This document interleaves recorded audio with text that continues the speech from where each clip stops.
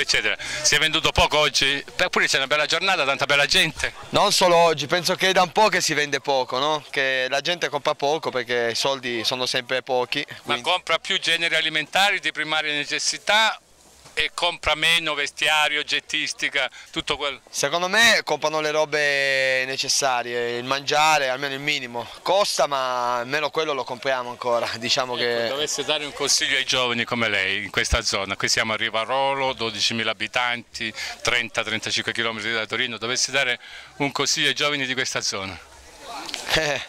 Eh, cercare di trovare un lavoro, eh, di impegnarsi e di tenerselo stretto se ce la fanno a trovarlo più che altro.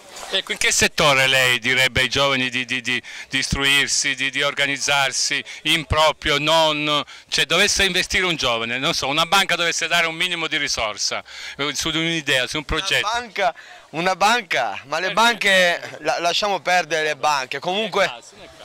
Comunque se dovessero trovarlo, eh, non lo so, innanzitutto il prima, in primis lo studio, cercare di studiare, se ce la fai a mantenerlo, lo studio e poi dopo comunque un lavoro, qualsiasi tipo di lavoro. Se per esempio, ma tramite il microcredito si potesse attingere al microcredito, quindi a una piccola somma, cosa farebbe lei in questa zona? Lasciamo stare il lavoro che fa attualmente, un altro lavoro. questa zona?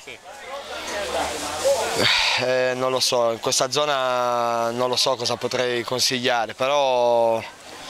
boh, Turismo, agricoltura, sì, agricoltura sì comunque, agricoltura, qualcosa di agricoltura sì, però poi d'altro c'è il piano di fabbriche qua, una zona hanno chiuso. che hanno chiuso, però qualcosa si sente ancora che lavoro, lavoro ce n'è, lavoro, eh, dipende, poi ci sono i contratti, i soliti contratti e...